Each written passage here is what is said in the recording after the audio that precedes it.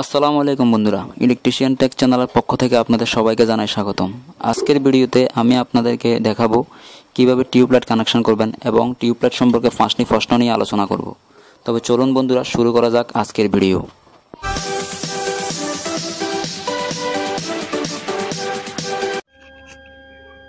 আমাদের প্রথম প্রশ্নটি হচ্ছে, টিউবলাইট বা ফ্লোরোসেন্ট ল্যাম্প কয়টি অংশ নিয়ে গঠিত? ও কি কি? উত্তর, টিউবলাইট পাঁচটি অংশ নিয়ে গঠিত।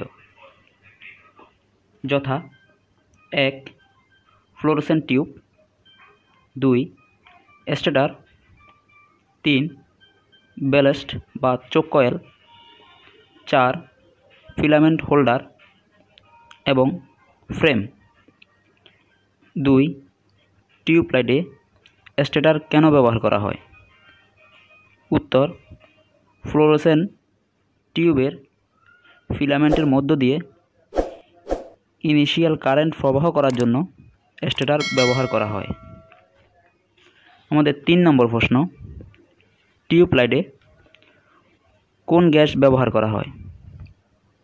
উত্তর, টিউবলাইটে নিষ্ক্রিয় গ্যাস ব্যবহার করা হয়, যেমন আর্গন, নিয়ন ও ক্লিপটন।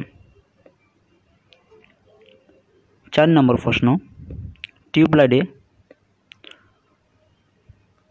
কত কত সাইজের হয় এবং কত ওয়াটের হয়?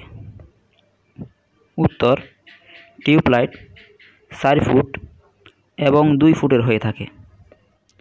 চার ফুট সমান চল্লিশ ওয়াট এবং দুই ফুট সমান বিশ ওয়াটের হয়। আমাদের পাঁচ নম্বর প্রশ্ন অর্থাৎ সর্বশেষ প্রশ্ন।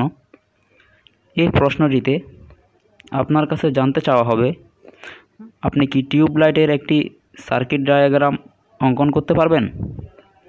আপনি যদি বলেন হ্যাঁ তাহলে আপনাকে সেটি অঙ্কন করে দেখাতে হবে।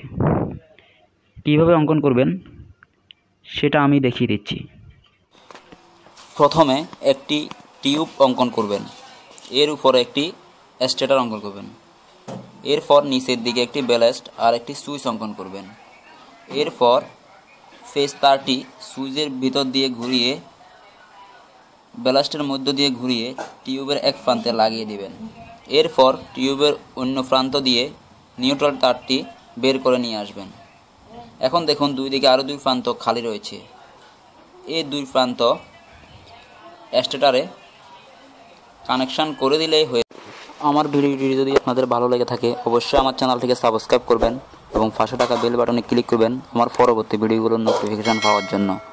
তো দেখা হবে আগামী ভিডিওতে। সে পর্যন্ত সবাই ভালো থাকুন, সুস্থ থাকুন। আল্লাহ হাফেজ।